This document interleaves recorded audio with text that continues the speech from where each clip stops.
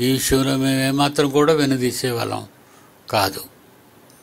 కనుక ఇది ఒక దేవుని మహా కృప. ఎందుకంటే సంఘము ద్వారా తన యొక్క నానా విధమైన జ్ఞానము ఇప్పుడు తెలియపడాలి అంటున్నాడు. ఎఫ్సి పత్రికలో మూడో అధ్యాయం ఎఫ్సి పత్రిక మూడో అధ్యాయం.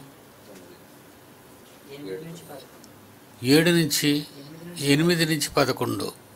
ఎఫ్సి పత్రిక మూడో అధ్యాయం మూడో అధ్యాయం ఎనిమిది నుంచి ఎనిమిది నుంచి పదకొండు. పదకొండు.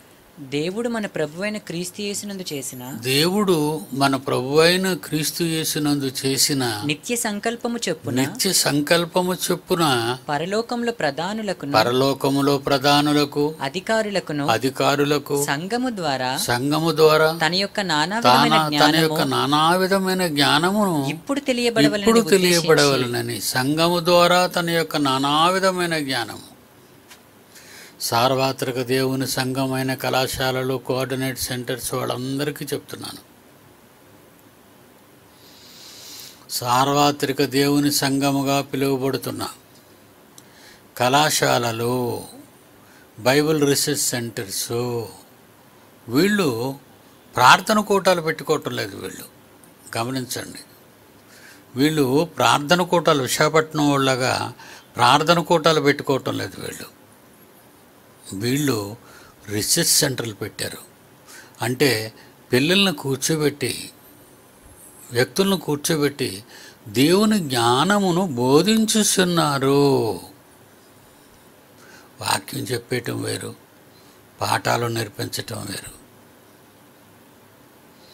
మా విశాఖపట్నం వాళ్ళకి అర్థం కాలేదని నేను అనుకుంటూ ఉంటాను ఇప్పుడు.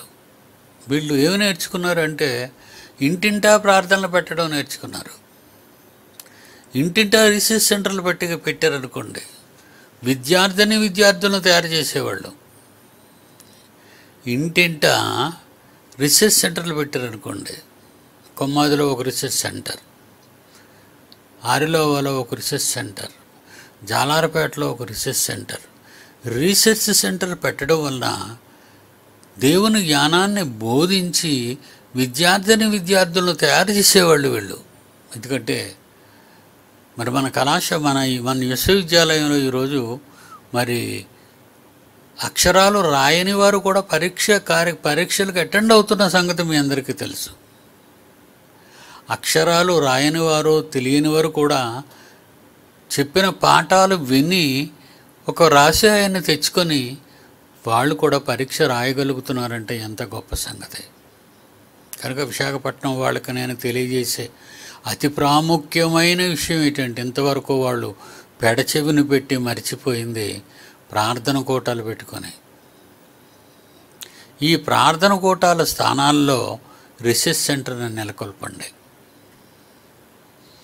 ఒక్కొక్క కోఆర్డినేటరు అక్కడికి వెళ్ళండి. ప్రసంగాలు చేయటానికి కాదు పాఠాలు నేర్పటానికి. ఒక్కొక్క కోఆర్డినేటర్ అక్కడికి వెళ్ళేది పాఠాలు నేర్పడానికి ప్రసంగాలు చేయడానికి కాదు. ఇలా ప్రసంగాలు చేయటానికి వెళ్ళి వెళ్ళటం వలన అక్కడ ప్రసంగాలు విన్న వాళ్ళు దేవుని సన్నిధికి రాకుండా పోయారు. ఇది ఒక పెద్ద బ్యాడ్ జరిగింది. ఎందుకంటే వాళ్ళకి సంఘంతో సహవాసం లేదు.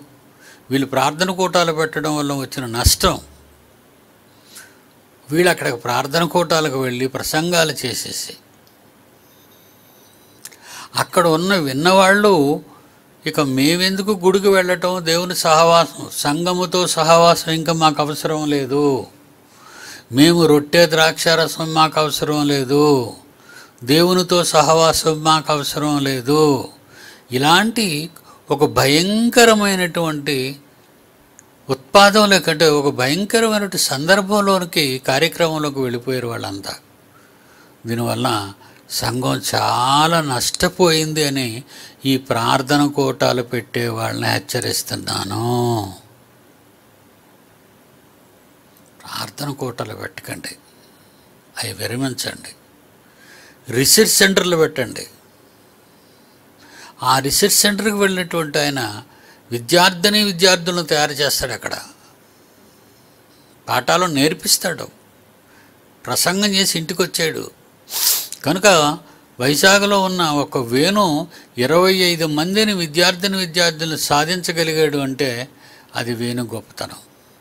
మిగిలిన వాళ్ళంతా అందరూ కూడా ఎంబీటీహెచ్ చేసి సచ్చుదద్దమ్మల్లా పడున్నారు. ఎంబీటీ చేశారు. కానీ ప్రసంగాలు చెయ్యటానికి ఎంబీటీహెచ్ చేసి ఎంబీటీహెచ్లు చేశారే తప్ప పాఠాలు నేర్పించడానికి మాత్రం వీళ్ళు ఎంబీటీహెచ్లు చెయ్యలేదు. కనుక సంఘము ద్వారా తన యొక్క నానా విధమైన జ్ఞానము ప్రపంచానికి తెలియాలని దేవుడు కోరుకుంటే ఆ జ్ఞానాన్ని నేర్పించకుండా నిర్లక్ష్య వైఖరితో ఉన్నటువంటి ప్రతి ఒక్కరిని హెచ్చరిస్తున్నాను వాళ్ళ వలన రొట్టె విరిచే కార్యక్రమాన్ని కూడా చాలామంది ఆ కొమ్మది నుంచి కానీ చాలామంది ఆ రొట్టె విరిచే కార్యక్రమానికి వాళ్ళు రావటం లేదు. ఇట్స్ వెరీ బ్యాడ్ ఎందుకంటే రొట్టె విరిచే కార్యక్రమం అనేది ఆజ్ఞ. రొట్టె విరిచే కార్యక్రమం అనేది ఆజ్ఞ. ఈ ఆజ్ఞను ఆచరించటానికి నీవు రొట్టె విరిచే కార్యక్రమానికి సంగమునకు రాకపోతే ఆజ్ఞ అతిక్రమము పాపము పాపమునకు జీతము మరణము. అంటే మరణానికైనా సిద్ధపడుతున్నావు కానీ దేవుని సన్నిధికి మాత్రం రావటానికి ఇష్టపడటం లేదు. ఇలాగ ఇష్టపడని వాళ్ళందరూ ఇళ్ళకు రప్పించుకొని బోధలు చేయించుకుంటున్నారు. దయచేసి ఈ బ్యాడ్ సంస్కృతి ఈ చెడు సంస్కృతి నుంచి మీరు బయటపడితేనే తప్ప మీరందరూ బాగుపడరు.